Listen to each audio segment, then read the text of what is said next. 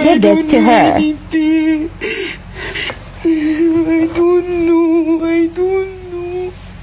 I don't know anything. I swear. I don't know how. I don't know how these people are getting these videos. These videos are mod. Even the videos with my face. I really don't know. I swear.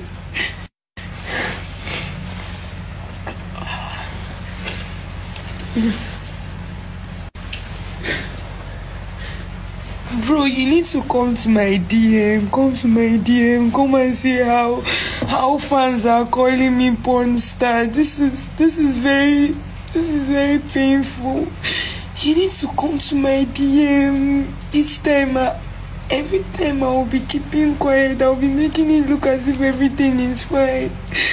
But I don't know. I don't know. I swear, I don't know.